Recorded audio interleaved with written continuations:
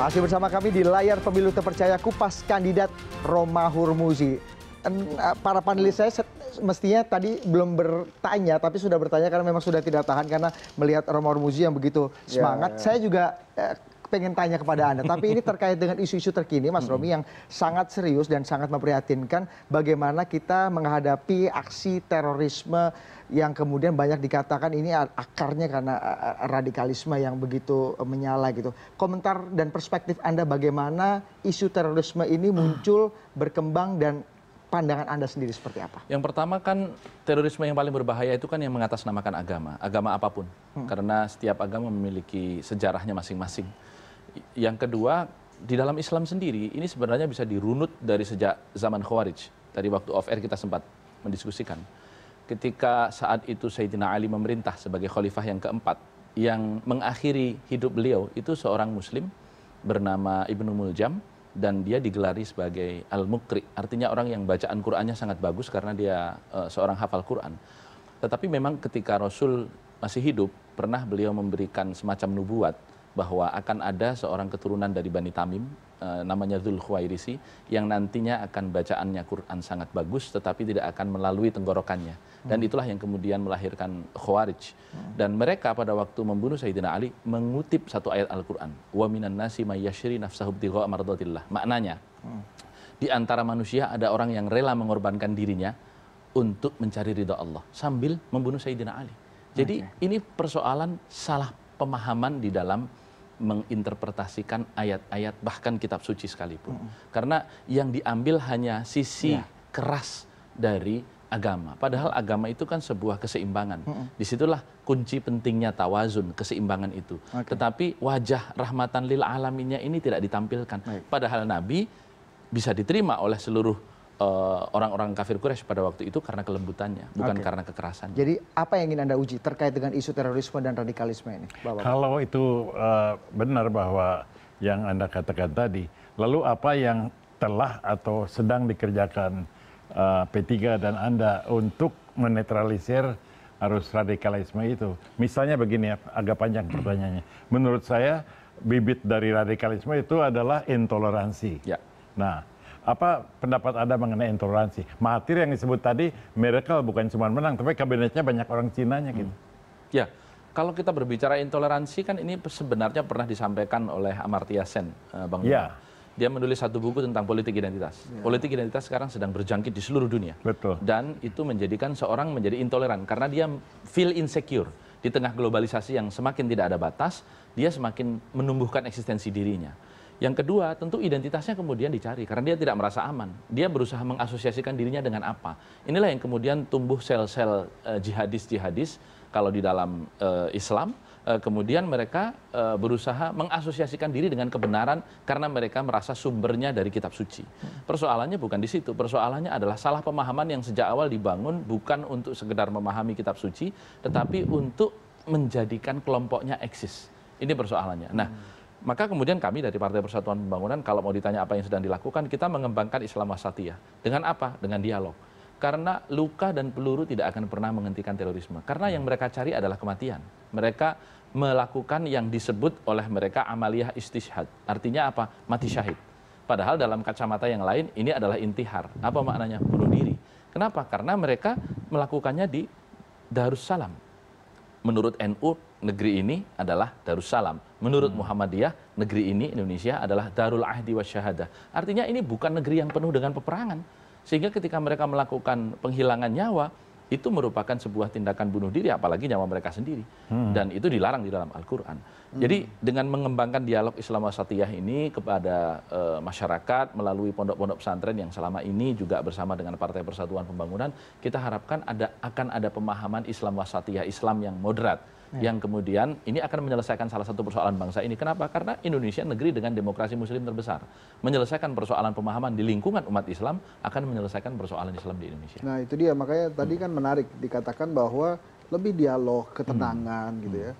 Eh, perlu jadi nggak kita ada undang-undang anti terorisme atau kemudian ada paksaan atau bukan paksaan ya ada ada challenge untuk menerbitkan perpu terorisme segera karena kan di dalam itu banyak sekali hal-hal kontroversial yang jauh sekali dari apa yang telah disampaikan oleh apa yang disampaikan eh, Mas Romi tadi tentang ketenangan dan kemudian dialog. Yang pertama bahwa undang-undang terorisme yang kita miliki sekarang yang tahun 2003 itu lahir dari Perpu juga. Artinya pada waktu itu juga karena situasi genting, Iya. karena pemboman yang dilakukan secara beruntun mulai dari bom Bali 1.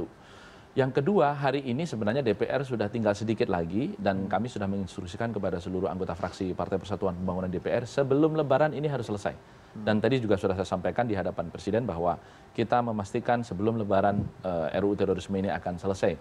Yang membedakan dengan RUU terorisme eh, RUU terorisme sekarang dengan yang lalu adalah bahwa adanya tindakan preemptif yang diberikan kewenangannya kepada aparat penegak hukum. Kenapa? Seperti yang dikeluhkan oleh Kapolri. Kami hari ini menangani kombatan mantan Suriah yang sempat ke sana di Indonesia tidak bisa ditindak karena dia tidak melakukan apa-apa di Indonesia. Padahal mungkin eh, virus-virus radikalisme sudah berjangkut di dalam sudah berjangkit di dalam pikirannya sehingga ini harus dilakukan pembinaan. Tetapi kalau kita tidak dibekali dengan kewenangan sulit begitu. Nah, ini yang kita berikan kewenangannya tentu dengan ukuran-ukuran yang memang bisa bertanggungjawabkan berdasarkan hak asasi manusia. Siapa nanti yang akan melakukan fungsi-fungsi dialog tadi? Apakah eh, Mas Romi mengharapkan polisi bisa melakukan Tidak bisa sendirian. Ini persoalan kita bersama sebagai bangsa. Harus melibatkan seluruh komponen masyarakat sipil, terutama ormas. Karena katakanlah NU, Muhammadiyah, Wasliyah, Persis, Al Khairat, eh, dan seterusnya itu adalah yang memiliki umat. Mereka-mereka inilah yang harus diajak dialog. Ada 28 ribu lebih pondok pesantren di Indonesia yang di situ saya yakin tidak tumbuh eh, apa virus ekstremisme dan radikalisme. Kenapa? Karena mereka mengerti agama. Pada umumnya virus ini berjangkit di tempat-tempat yang mereka pemahaman agamanya awalnya rendah. Tetapi ibarat gelas mereka kosong kemudian bisa diisi dengan apa pun dan semangatnya meletup-letup. Sehingga kalau kita lihat hari ini justru pemikiran-pemikiran yang ekstrim dalam pemahaman agama itu justru muncul dari kampus-kampus negeri dibandingkan dari IAIN. Nggak kalau saya tidak sejarahnya. salah ya, kalau saya tidak salah, eh, Saidina Ali sebelum dipenggal itu juga gara-gara Saidina Ali ingin berdiskusi, berdialog dengan lawan Islam saat itu. Hmm. Dan ada sesat pikir yang dilakukan si pembunuh tadi, karena menganggap Saidina Ali mau berdiskusi dan berdialog. Tapi sekarang tadi Mas Romi bilang berdialog ini penuh Ya, Sayyidina. Ali memutuskan untuk melakukan peperangan kepada Khawarij Ya. setelah dialog di pinggir Sungai Nahrawan. Betul. Di pinggir Sungai Nahrawan itu dialog berlangsung berkali-kali, tetapi akhirnya utusan yang diutus oleh Sayyidina Ali untuk berdialog malah dibunuh sama Khawarij. Hmm. Itulah kemudian Sayyidina Ali ini tidak bisa ditolerir lagi, kira-kira begitu. Kita kan bicara mengenai pemahaman Mas Romi. Iya. Tadi Anda katakan bahwa virus-virus radikalisme itu banyak me- menjangkit ke kelompok-kelompok pendidikan malah. Iya. Kita punya data dari White Foundation tahun Hmm. 2016 dan 2017 kalau tidak salah bisa ditampilkan bagaimana potensi radikalisme kalau tidak salah di sini eh, dari data White Foundation yang ada di belakang kita nih Hmm. Mas Romi dan Bapak-bapak. Ini potensi radikalisme dan intoleransi sosial keagamaan di kalangan muslim Indonesia mengenai skor radikalisme ada 72% mayoritas Muslim yang menolak Ya. tindakan radikal. Tapi ada 7,7 persen dan eh, yang akan bersedia melakukan tindakan radikal dan 0,4 persen pernah melakukan tindakan radikal. Kalau dikuantifikasi ini jumlahnya 11 juta dari 150 dari 150 juta Muslim Indonesia bersedia bertindak radikal. Ini kan kalau ada 11 juta kan itu bukan angka yang kecil meskipun itu masih eh, minoritas. Anda, mengatakan ada NU, ada Muhammadiyah, ada P3 sebagai partai Islam bertahun-tahun. Ya. Anda ikut bertanggung jawab nggak terhadap eh, tingginya angka 11 juta Demokrasi? Muslim terbesar di dunia ada di Indonesia, menjadikan Indonesia menjadi laboratorium yang sangat seksi untuk seluruh gerakan pemikiran Islam apa pun di seluruh dunia masuk ke Indonesia. Karena ini negara dengan demokrasi Muslim terbesar di dunia. Sepertujuh jumlah umat Islam di dunia ada di Indonesia. Anda nggak- merasa eh, sebagai ketua umum partai Islam misalnya atau eh, aktivis apa Islam misalnya, Anda nggak merasa bahwa memang ini karena kita juga lalai, karena kita agak ceroboh gitu misalnya? Begini, ormas-ormas Islam besar karena saking besarnya begitu banyak organ yang dia naungi menjadi resisten, reluctant, bukan resisten maaf, reluctant ketika akan bergerak, ada inersia di sana. Oke. Tetapi kemudian ormas-ormas baru dan eh, firkoh-firkoh pemikiran-pemikiran baru yang masuk dari luar atas nama gerakan Islam apa pun, katakanlah begitu, masuk ke Indonesia termasuk yang terjangkiti virus radikal, itu masuk ke Indonesia dengan pola yang lebih agresif. Dia jemput bola. Sementara ormas besar di Indonesia itu menunggu bola. Dan Kenapa? menurut Anda Karena data besar. data itu menjadi prakondisi sebelum akhirnya aksi-aksi teror ini bisa terjadi gitu. Ini Dia bukan prakondisi itu kan potret ya. Itu potret dan bagi saya potret ini kita masih bisa debatable karena saya tidak yakin juga 11 juta orang. Kalau 11 juta orang sudah terjangkiti radikalisme, wah sudah akan lebih dahsyat dibandingkan dengan Udah hari mati. Semua orang Indonesia. Mati semua. Pak Wimar, gimana Pak Wimar? Ya, jadi eh, saya berusaha mengerti dan mengerti, tapi saya juga agak intelektual gitu ya. Iya, iya, Kalau iya. saya tidak intelektual, apa orang di luar tuh ngerti, orang yang desperate, minoritas yang dikejar-kejar, mayoritas yang nggak tahu mau ngapain. Terus ini kelompok kuat eh, intelek Islam memang eh, sangat potensial untuk melakukan sesuatu. Tapi mereka juga punya comfort zone yang kelihatannya tidak mudah ditinggalkan. Mereka bicara di dalam forum yang aman, tapi apakah mau mentransformasi masyarakat sehingga lebih sadar? Itu ada nggak di- di P3 atau di Anda sendiri? Kan dua, ada kontraradikalisasi, ada Iya. deradikalisasi. Persoalan kita kalau kita mau melakukan kontraradikalisasi mudah, kita bikin forum di mana pun. Tetapi deradikalisasi mengajak dialog para napi ter ini, eh, napi teroris itu, memberikan pemahaman kembali kepada mereka agar jalannya kembali lurus ya kepada Islam rahmatan lil alamin, Pancasila dan NKRI. Ini satu hal yang merepotkan tersendiri dan polisi tidak mampu itu. Karena itulah maka kemudian butuh pakar-pakar agama untuk berdialog dengan mereka dan ini perlu disebar ke seluruh Indonesia. Siapa yang bisa menggerakkannya? Tentu pemerintah. Tetapi pemerintah harus bekerja sama dengan ormas di mana ormas itu diberi tugas. Ini merupakan concern kita sebagai bangsa kalau mau mengembangkan Islam wasatiyah dan presiden sudah memulainya minggu lalu ketika mengumpulkan 100 lebih ulama lintas eh, negara di Bogor untuk berbicara Islam wasatiyah. Itu kan di Istana Bogor. Kita yang perlu itu adalah ke seluruh daerah-daerah yang remote yang merupakan daerah yang tidak pernah terjangkau oleh kebanyakan bahkan mungkin televisi. Nah. Dan inilah yang perlu dilakukan untuk penetrasi. Apa tidak perlu, eh, Bu Gromi, untuk sedikit membersihkan lapangan supaya jangan terlalu banyak orang bicara yang ngawur-ngawur. Jadi yang ngawur pinggir dulu atau suruh nonton, lalu biar yang berdebat. Nanti kalau ada pembersihan lapangan terhadap orang-orang yang bicara ngawur, dikira kita semakin diktator nanti negaranya. saya kira kita harus bisa ambil satu degree of risk ke arah itu ya, nggak bisa sama sekali menghindarinya. Hmm. Yang paling kita- penting sebenarnya sekarang semua orang Indonesia menonton televisi. Jadi memang pilihan-pilihan responden ketika diatur untuk tampil di televisi Iya. adalah orang-orang satu yang memang mengerti agama.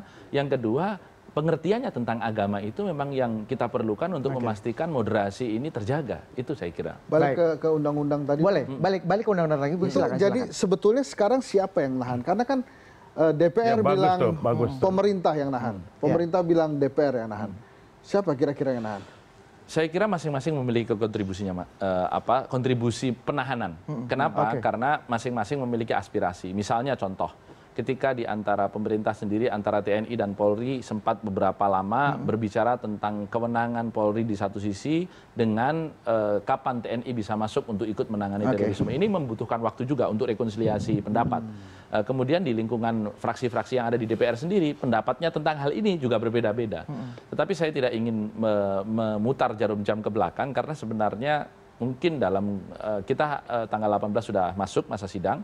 Saya yakin sebelum Lebaran ini sudah akan kelar. Baik. Jadi kita tidak perlu untuk perpu karena kalau sedikit-sedikit perpu juga akan menjadi persoalan begitu. Karena Oke, dulu lahirnya karena rancangan karena undang-undang ini atau revisi undang-undang ini ma- masih masih debatable dan kelompok masyarakat sipil juga masih agak takut gitu, agak agak takut dengan bahwa uh, apa yang terjadi di Orde Ya, Baru jangan akan salah. beberapa lagi. yang kontroversial. Mas Budi, Betul. jangan salah ya bahwa kelompok masyarakat sipil juga punya andil untuk memperlambat. Kenapa? Karena mereka selalu mengatakan atas nama HAM juga tidak boleh melakukan pelanggaran HAM terhadap terduga-terduga teroris ini. Sehingga kemudian pasal-pasal mengenai tindakan-tindakan preemptif jangan Baik. terlalu tajam dong. Jangan kemudian nanti seolah-olah menjudgment, nanti kemudian digunakan oleh pemerintah untuk menghabisi lawan politik. Nah, hal-hal seperti itu juga Iya. menunda begitu. Oke oke dan menurut uh, Pak Wimar juga tadi harus ada risiko yang kemudian diambil kan, Ada termasuk karena, apa karena ini udah emergency. Orang kalau udah emergency harus dioperasi Nah. ya, harus ada darah dong. Emergensinya juga durasi kita sudah mulai habis. Kita akan Ya, kembali ke aja. segmen berikutnya. Tetaplah bersama kami di layar pemilu terpercaya. Kupas kandidat Romar Muzi.